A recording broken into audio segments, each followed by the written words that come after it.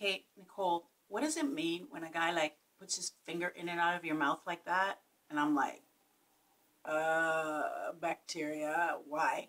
He's like, no, I'm serious. And then he really stretches your mouth all over the place. Like, are you supposed to enjoy it?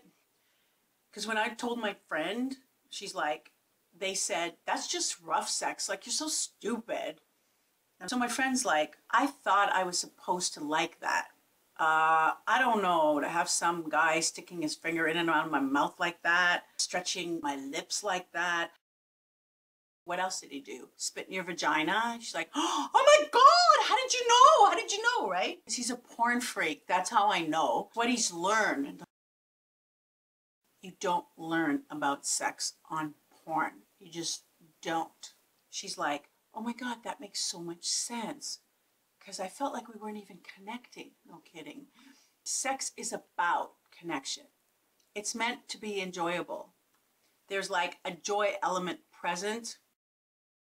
That's not rough sex. That's like no sex. It's like stretching my lips over my ears. Okay, that's ridiculous. Do I look like Gumby? And for the record, guys, spit is not lube, okay? And lube's a shortcut anyways. Like, do you actually know how many chemicals is in that shit? I've never had my boyfriend use any of that crap on me. Because he would just go pick up some condoms, ask where they are. The sales girl would be like, oh, you looking for extra lubrication? And he'd be like, nope, don't need that. She'd be like, ooh, I know because he bragged about it all night.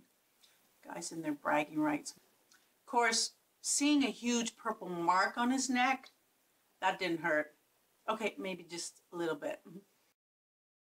My girlfriend was like, if one more guy takes his thing and slaps it on my stomach or on my forehead when we're done, I'm going to take it and I'm going to break it until it bleeds. And I'm like, oh my God, you're going to break it? You're not going to bend it? She's like, no, what's bending going to do? Bending we're not going to do shit. I'm going to break it. That'll teach him what's good. I'm like, okay, I'm down.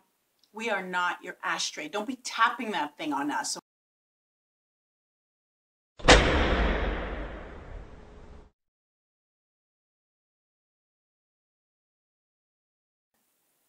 Testing, testing, air bubble approach. testing. Your your hair is like not up like it was before. Let's let me show you. Doesn't matter. Okay. Oh. Okay, is that better? Yes.